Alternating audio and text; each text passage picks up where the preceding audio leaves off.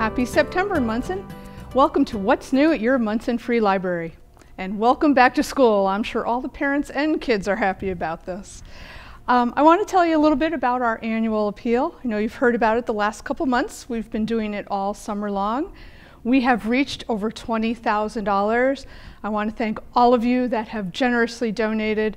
It's, it's been a wonderful campaign. Um, it is going on through the end of August, but then we have a special raffle that's going to go on through the month of September. So, and trust me, it's never too late to donate. We, we accept all large and small donations any time of year. But thank you for helping us reach that $20,000 mark. That, that is a huge, big deal for us, and, and thank you very much. And it's all because of you. Because of that, we'll bring you more programs, more materials to check out. Um, actually, I think we're going to add a few more hours, so stay tuned for that. That's coming this fall. Um, but I want to tell you about the raffle we have. I'm sure all of you have heard of Treehouse Brewing Company, um, one of our local favorites, actually national favorites, right? Well, in lieu of a donation, a, a, monetary donation to our annual appeal, they have donated a Treehouse gift bag. So it's a nice little bag and it's all got little separations in it so you can put your bottles of beer in there. It has a $25 gift certificate to Treehouse Brewing, um, a sticker, a baseball cap, two beer koozies, and two beautiful uh, glass they're beer glasses, those really pretty ones. Has two of those. Um, as well as, well, we're not giving you the beer, but we are giving you a 750 uh, milliliter bottle, so you can go to Treehouse and fill up with that $25 gift certificate.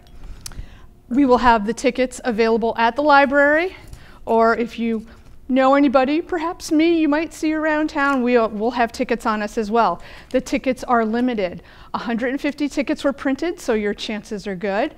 Uh, the tickets are $5 each.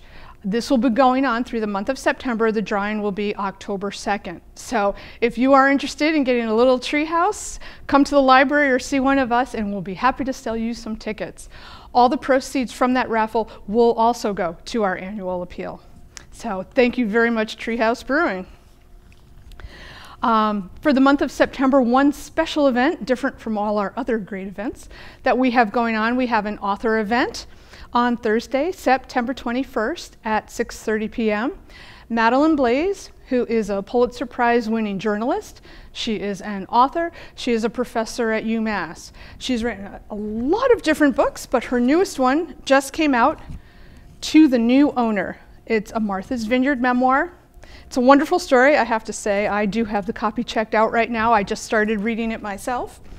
Um, but it's about her husband's family had a summer home on the vineyard forever. And when his parents passed away, they did have to sell it. And it's the story of, of the house, of the vineyard, a little bit of a travel log, um, how times have changed. It's a wonderful story. And I know a lot of you really like Martha's Vineyard and, um, and the beach houses and the memories. So please come on down. Madeleine will be there again on September 21st. It should be a great event. Um, and it is a wonderful book so far. I'm sure it'll be great all through. Also, I want to tell you, Thoreau is still going on. This is his year. Um, there are two events this month at the Palmer Public Library. First, um, Wednesday, September 6th, uh, at 6 p.m., they are having their Walden book discussion. So please, if you haven't attended one in Wilbraham or one in Monson, you still have time to attend the last one at the Palmer Public Library. On Wednesday, September 13th at 7 p.m., and I know a lot of you are going to be interested in this, they're doing the train to Palmer and beyond. Thoreau did not necessarily like the railroads, but he used them all the time to go visit friends and go to his lectures and see the world. And Corinne Smith, um, who has been at the, the Wilbraham and Monson libraries this summer, uh, will be giving a talk on Thoreau and his travels on the railroad. So I know we have a lot of railroad buffs out there. Again, September 13th at 7 p.m. in Palmer. And then finally, on October 22nd, that's when we're, we're ending this whole Thoreau bicentennial celebration.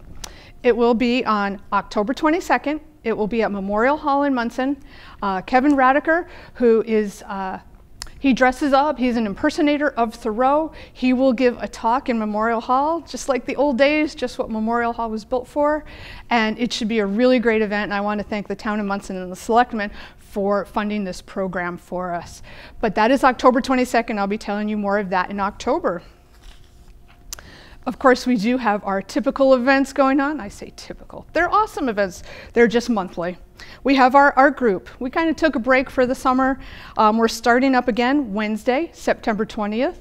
Remember that is at noontime. It's a brown bag lunch. We discuss art. I don't have a topic for you right now, but within the next week, we will have resources at the library. But come to the meeting, whether you're just interested in art, you want to have a good discussion, you want to listen and meet new people. That's for you. It's always the third Wednesday in, of the month, so September 20th at noontime. Also, we have our Scrabble, which is the fourth Tuesday of every month. Um, it will be Tuesday, September 26th at 6 p.m. Everyone is welcome. Always a good game. We have at least three or four games going on at a time, and it's a lot of fun. They do get a little rowdy. And I want to tell you about our friends group as well. Um, their next meeting and they are always the third Wednesday as well. So come to art group, then come back at 6 o'clock, do the Friends meeting. Um, Wednesday, September 20th at 6 p.m. Everyone is always welcome. The Friends are working on fundraisers. They'll be doing the um, Arts Council Crafts Fair this year in November. They have a bus trip coming up, and their bake sales are back. They also took the summer off. Their bake sale will be on Tuesday, September 19th, day before their meeting. They're always looking for people to bake. If you're interested, just contact the library. The bake sale will be going on from 10.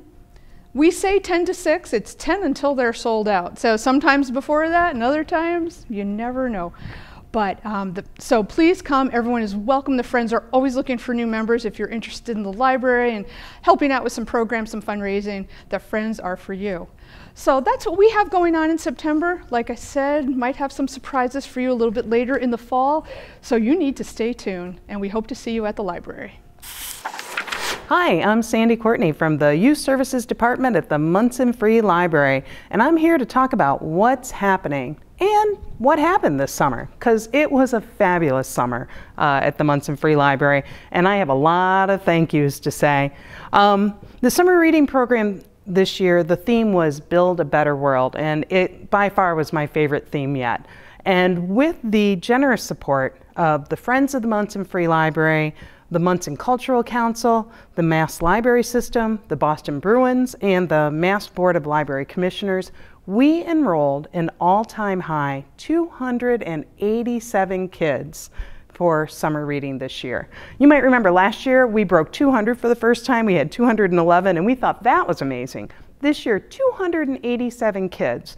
And we could not have done it without the amazing community. We really work to build a better world. So I have a lot of folks in the community to thank. Starting right here at M-PACT, thank you to Ryan for making me look good every month and for helping me get the word out to you, viewers like you, as they say on PBS. Without you folks telling kids, um, hey, this is happening at the library, and taking the time out of your summer to bring children to programs, none of it could happen. So thank you to the grown-ups of Monson and surrounding communities for actually bringing the kids out all summer long. Um, I also want to thank a huge thank you to Ryan Deverens at the Monson Public Schools at Quarry Hill. She arranged for me to come and visit the school that last week of school, which is totally a crazy time, but I was able to do classroom visits in every grade from kindergarten to grade four, except for those third graders because of their amazing project where they were doing the stream study. Um, but we got the word out into the classrooms and I got to go and talk about summer reading in each classroom and meet with the kids and the response was outstanding. I completely lost count of how many kids came in and were like, oh, remember me? You came to my school. And they were so excited to sign up for summer reading. And thank you to the grown-ups who were walking around looking at the library like, hmm, I haven't been here in a while. Again, for bringing them both to our kickoff event and all summer long to get them signed up and excited about reading. So a big thanks to the Monson Public Schools um, and to Ryan especially for the logistics of making that happen. It really made a difference. Um, I also, um, our kickoff event this year, we collaborated with Monson Parks and Rec again to actually have our kickoff event at Veterans Field, and that is a blast. We had over 160 people this year show up just between in that like less than two hour time bright sunny morning the first day after school got out and it was a blast. Thank you to Joy Erickson for the incredible bottle rocket launches. The kids had a blast decorating their own uh, bottles and learning. Shh, don't tell them they were learning. They were just blowing stuff up, right? But they were learning about science, launching bottle rockets, signing up for summer reading. Beautiful sunny day. Thank you to all the volunteers, to Joy and her family, to uh, Trinity and Drew for helping out. Thank you to the Monson Lions, Diane and Jenny, for coming and making snow cones. They had to make 200 snow cones, I swear, in an hour and a half. It was amazing. Um, and thank you to Adams for donating all those cases of water to keep us hydrated because well, I don't know. I hope I was the only one who ended up sunburned, but um, it was it was a beautiful, bright, sunny, warm morning, and um, it was just so fun to see so many people there. Thanks to Parks and Rec for bringing out all the basketballs and the lawn bowling and the hula hoops, so the kids were engaged and moving and had lots of fun stuff to do while they waited to launch their bottle rocket or get their snow cone or get signed up and get their goodie bag. Um, it was just a great, great morning and a great way to kick off the summer. So, am I forgetting anybody? I probably am forgetting some folks, and I really, I'll do my best to try to catch everybody. But if I do forget your name, it's not because I don't appreciate everything you did. Um, I do want to make sure that I thank, I mentioned Joy Erickson, but she really shared her when we first started talking about the summer reading theme being Build a Better World, her scientist mind immediately went to engineering, and she really brought her talents and her passions uh, for engineering and science and shared them with us. The bottle rocket launching was a blast, but she also um, helped me uh, put on, actually, she did most of it. The Get a Grip program, which was a biomedical engineering program for teens, and the Best of Bugs program, which was environmental engineering for the littler kids. So, thank you so much for sharing your talent and your passion. And speaking of talent and passion, thank you so much to Tibby Chase for bringing Arlo and Grace, her corgis. So, we had a super fun story time with them um, where we learned, we called it Stories with Corgis and um, we both learned about dog safety, which was very timely. In the summertime, kids are out, they're you know riding their bikes and so on, and they learned a lot about how to be safe if they meet a dog that they don't know, how to talk to a dog owner to approach a dog safely, and they learned a lot about fun dog training, like clicker training and stuff like that. Super fun story time. Uh, Tibby even brought a little obstacle course and let the dogs play, you know, like had the kids run them through the obstacle course all volunteering her time. And without, again, the people in the community, we wouldn't be able to do such a fun program. So thank you so much to Tibby and Joy and Trinity and Drew and the National Honor Society kids who came and helped out at the kickoff party, uh, Shannon and Anna. We really appreciate your time and your support. So one of our most popular programs every summer is our Story Time on the Go. Did I mention thanks to our community? Because really, the enthusiastic response I get every year when I contact the Monson Police Department, the Monson Fire Department, the Monson Public Schools, those are our big three every year. Um, and, and we couldn't do it without you. We are so blessed in our community. The fire department this year, literally, we're getting called out on a call when we're showing up for story time. So, but we rolled with it. It was fantastic. We read the stories and they made it back in time to actually bring out the trucks and let the kids, like, you know, check it all out. And they just transitioned right from emergency response, this is what we do, to you know, educating the kids because that's what we do too. And it was fantastic. They just, we had a huge crowd. I, I don't even remember the number. It was more than 80 people. It was just, it was such a big, excited crew. And it's so fun to see the kids like get a chance to meet them and climb all over the truck and take pictures. And it was just a blast. Um, our Monson Police Department, every year, um, Chief Steve kicks us off reading stories. And this year, they actually were able to make sure that Officer Rondo was there with Storm, the canine officer.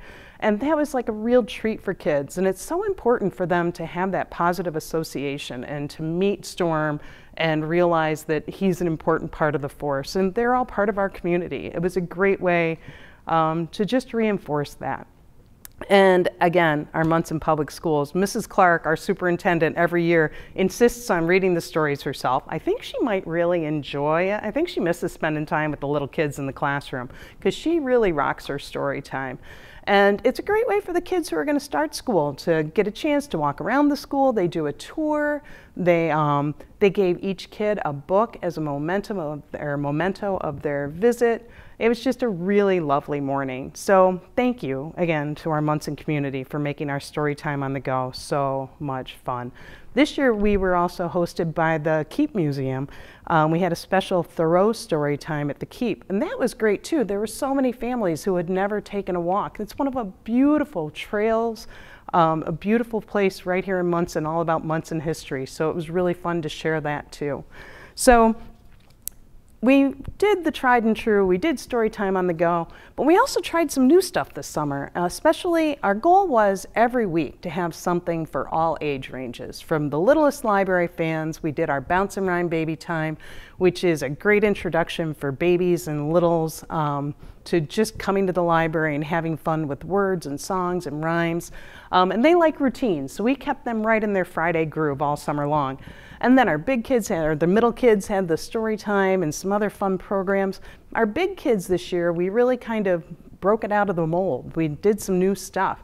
They kicked off the summer with uh, their traditional Friday night movie and pizza, which was a blast. We watched a Monster Calls, and it was creepy and great and really fun. But we did some other neat stuff. We did a babysitting course where we trained, we had uh, Kim and Gail's CPR Plus come in and do an introduction to um, ages and stages, basic first aid, introduction, um, they learned CPR. So these kids all got certified as um, babysitters. We had 15 kids with a wait list signed up. It was fantastic. We appreciate that the Friends of the Monson Free Library underwrote that program, so the kids paid for half and the Friends covered the other half of the costs, so we were able to make it affordable for them. And yes, we might have a list at the library of those kids, so if you're looking for a babysitter, not that obviously we can recommend anyone, but we can let you know who took the training course and got their certificate so that was really great and really successful, and we're already talking to them about doing that again maybe in the spring. Um, I touched base briefly on the biomedical engineering program that uh, Joy did with us, the Get a Grip program. This might have been my favorite program of the summer. Basically, what this program was, was an introduction. We started off by um, introducing the children, the kids, they were all grades fifth, and excuse me, start that again. So one of my favorite programs this summer was probably the Get a Grip, the biomedical engineering. This program was for kids in grades five plus.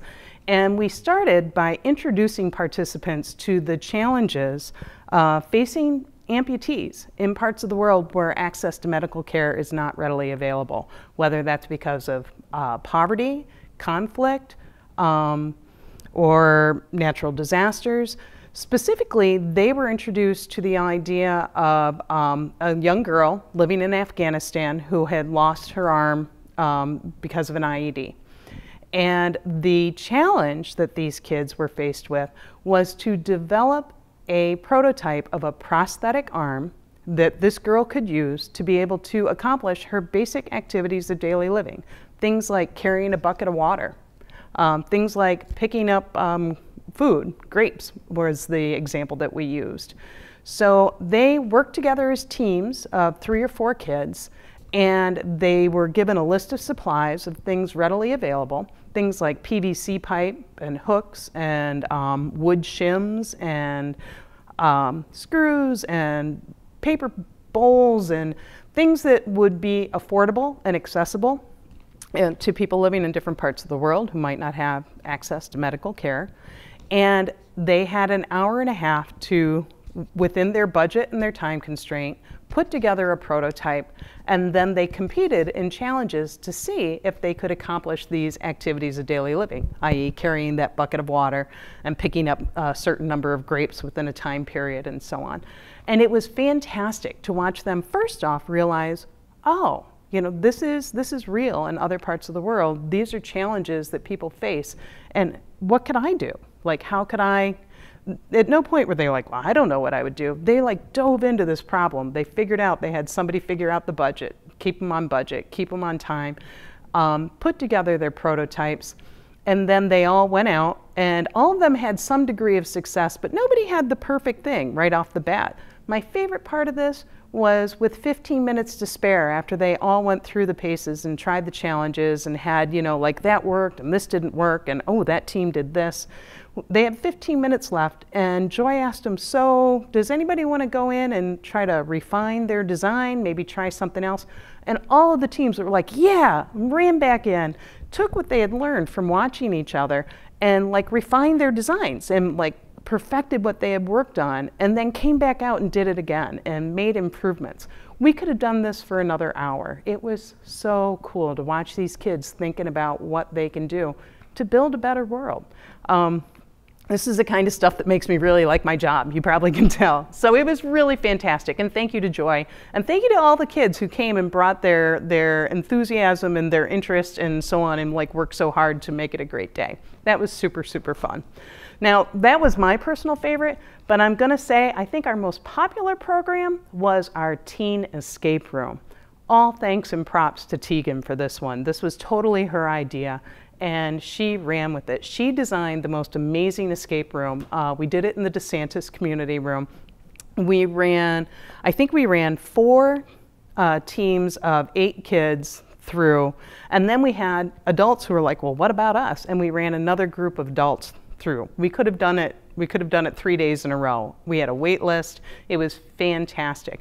Basically, kids came in. If you're familiar with the escape room uh, craze, we did a Harry Potter theme. Uh, the Niffler had been stolen, and they had to solve the clues to find the Niffler to get to the end. Um, it was fantastic. We started at 2 o'clock in the afternoon and we ran our last group through at 7. It was absolutely fantastic. And we will definitely be looking at doing that again in the fall. So keep your eyes open for that one. Um, we expected, uh, just because of our numbers, that we were going to have a good turnout for our grand finale, and we were not disappointed. We are very grateful to the Monson Cultural Council for funding uh, us bringing the science tellers to um, Monson for our grand finale.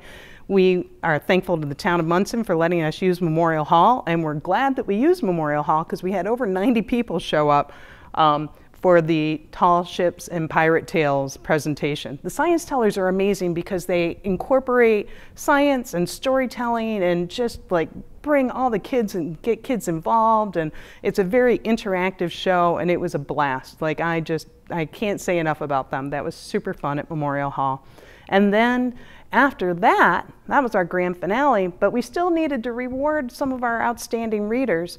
Our kids, uh, ages 4 to 11, one of their prizes, if they completed their reading challenge for the summer of reading at least 10 books, was to have a pool party with ice cream at Quarry Hill a big thanks to Liz Manley and to the uh, lifeguards. They definitely worked hard because we had over 100 people show up for our pool party with ice cream to reward our outstanding readers. It was a blast. Thank you to Adams for giving us a great discount price on those Hoodsie cups. Um, that really helped out a lot. Thanks again to Drew and Trinity and Diane for coming and making sure everybody got their ice cream. And thanks again to all the grown-ups who brought the kids to all the programs all summer long.